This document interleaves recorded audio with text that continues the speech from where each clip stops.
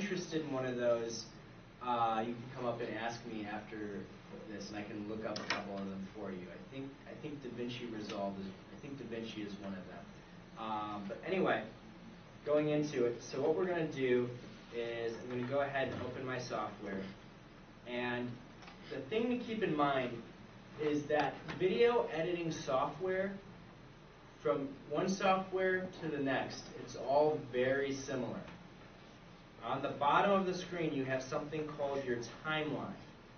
Timeline is just where you rearrange all of your clips and your audio elements, and you make sure that they're um, in the order and edited the way you want.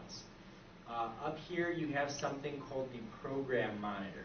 Now, different softwares call it different things, but basically the concept is your program monitor shows you what's on your timeline. So as I'm moving across my timeline, or what we editors call scrubbing across the timeline, you can see me in the monitor moving. We also have this vertical bar here. This is called the playhead. The playhead represents the point in time where you are in the, in the timeline. So in other words, that playhead is sitting on top of one frame. And this video was shot in 30 frames a second. So it's sitting on top of one frame, representing one thirtieth of a second. Um, and as you play through, Channel that playhead moves discuss some of and shows you exactly where you are in the timeline. Over here we have our source area, and this is just where we grab our video and our audio assets to put them in the timeline and mix them together. So that's pretty much every editing software in a nutshell. You have those three elements. Um, you also have effects, transitions, titles. All those things can be done in any editing software. Whether you're using iMovie, whether you're using Premiere Pro, whether you're using Final Cut, whether you're using DaVinci, any editing software has those main things. Um, so I'm going to go ahead now. I'm going to take the, the, remember the video that I showed you at the very beginning, the one that you all said was the best video of the three? I'm going to show you how to make that one. You guys want to learn how to do that? Yeah. All right. I'm going to take this, drag it down here. And how are we doing on time so far, Michelle? Uh, we are good. We we have until two twenty or two thirty. Okay, great, great. I want to make sure I'm not keeping anybody here longer than they need to be. Um, hi, welcome. Come in. Sorry, I was late. So we're going. So what I'm going to do with this um, is I'm going to first of all find the point in time. Remember how I was talking about when you're recording audio, you got to clap your hands. I'm looking for that clap. And as soon as I hear that sound, so I'm going to go one frame at a time. You guys hear it? Yep. Mm-hmm. So in iMovie, I'm going to press Command B to split the clip. Depending on what software you're using, it's going to be a different button, but every software can split the clip right there on that frame. So now I'm going to drag in my sound, and I'm going to look for that clap. Okay? You guys hear it? Mm-hmm. So I'm going to go I'm going to go nice and slow now.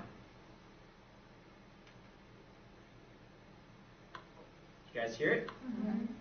So again, I'm going to Command B. Okay, you don't want to Command B for me. What's going on? Or I can just drag the edge in.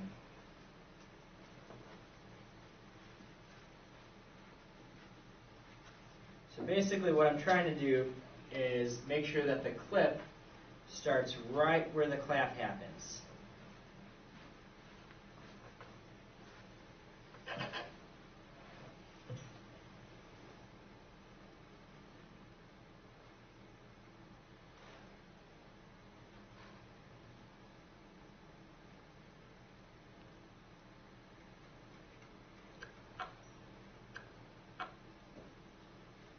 There we go. So theoretically, so since these both started um, at the same point in time where I clapped my hands, they should be lined up. So I'm going to play this from the beginning and see how it sounds.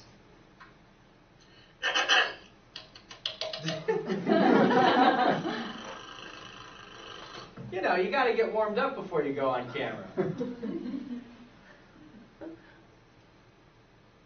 Star Wars fans, and may the Force All right, so we are lined up. And so what I'm going to do is I'm going to detach the original audio uh, from the clip. So this is the, the sound that my camera recorded in its internal microphone.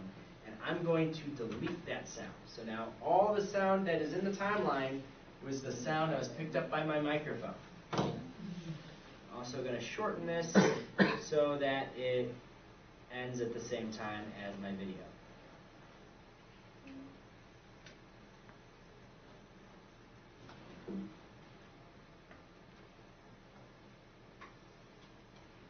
Alright. So, let's get to the actual part where I start talking.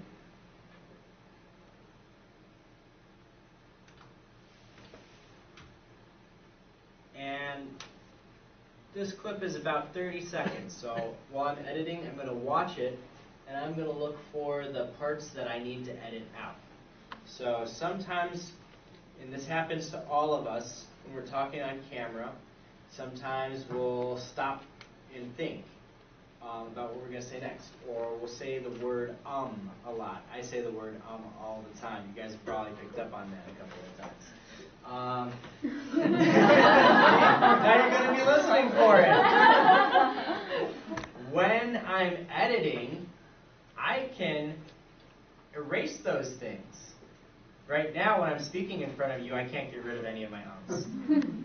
But I'm editing this video, so I can get rid of my ums, I can get rid of my pregnant pauses, I can get rid of all the little things that are going to distract people when they're watching my video. So how many of you guys have seen a video um, and notice that, wow, this person doesn't ever say um. well, here's the thing, they probably say it all the time. They just, they're very good at editing, so you never notice it. So we're going to watch this video and we're going to see how many times I flunked. Hello, Star Wars fans. May the Force be with you. Today Can we're bringing everybody hear that okay? upcoming Star Wars media. Could be a little Are you a louder. fan of The Mandalorian? We'll fix that. Favreau just released some new updates on season two. Also, how is new Disney CEO Bob Chapek's role going to affect Kathleen Kennedy and the future of Star Wars? Stay tuned for the answer to these questions. All right, so there are a couple of things that we need to cut out. But the first thing I'm going to do is I'm going to turn the volume up as loud as it can go. So every editing software has volume controls for your audio. And the way to find that in iMovie is I'm going to click on this clip so that you see the yellow highlight bar around it. I'm going to come up here to the little symbol that looks like a speaker, and I'm going to drag the volume all the way up. Now, you're going to want to listen to it to know how loud you need to make it. I know because I edited this video before that I need to make it 400%. Um, so, now we're going to listen to it. Force be with you. Today we're bringing It's a little you louder the now, latest right? news on upcoming Awesome. Star Wars. It would sound a lot better if we had actual speakers. We're just coming through the speakers and the projector up there. So if you guys are wondering why it sounds weird, that's that's why. Um, media. Are you a fan of The Mandalorian? see, there's a good pause, and I want to cut that out.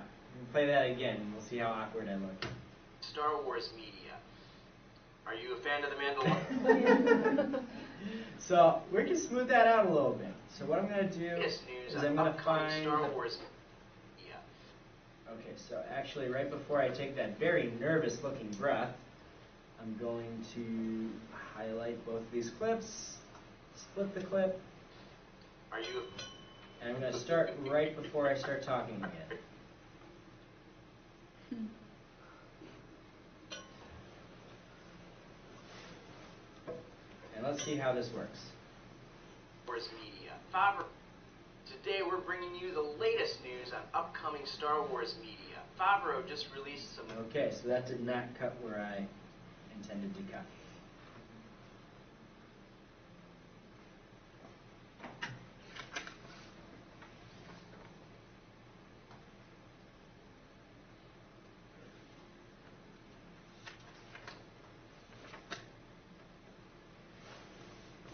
Bear with me, you guys are doing great. So, Today we're bringing you the latest news on upcoming Star Wars media. Are you a fan of The Mandalorian? Jon Favreau just released some new updates on Season 2. Also, how is new Disney CEO Bob Chapek's role? okay, so there's another one in there that really bothered me. How is new? See, kind of where I stopped in the middle of my sentence. How is So I'm gonna go ahead and cut that out as well. new Dis?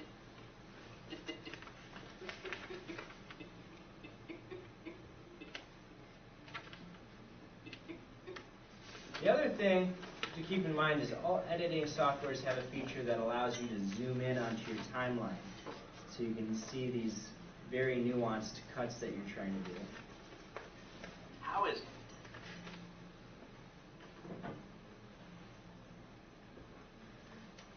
So drag that in a little bit.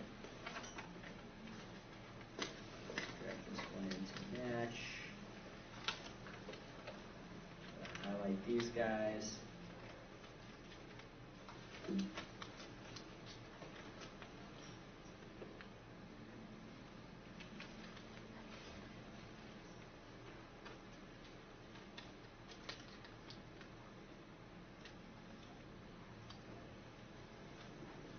Make sure that everything how is new Disney E CEO? Alright, so that's not as jumpy. The other thing is, I'm also gonna cut off the few seconds here at the end, after I say cut. 'cause we don't need those. Alright. So, I've cut out the parts that I didn't like, the parts that I was embarrassed about, the parts that are probably gonna distract people who are watching the video. But I've created a new problem, watch this. News an upcoming Star Wars media.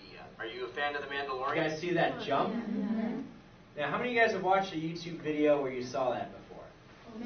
Yeah, it's the jump cut. So sometimes that's considered okay on social media. In fact, uh, you know, eight or eight or nine years ago when I got started doing social media, yeah, um, that was actually very common. You'd see that in every YouTube video, and uh, it was actually something that I, I would do in, on purpose. But nowadays, YouTube videos are, are starting to become better quality. People are work are people are working harder to learn how to edit their videos. So people who are viewing YouTube videos are not as used to seeing jump cuts as they used to be. So what I'm going to do is I'm going to try to hide my jump cut.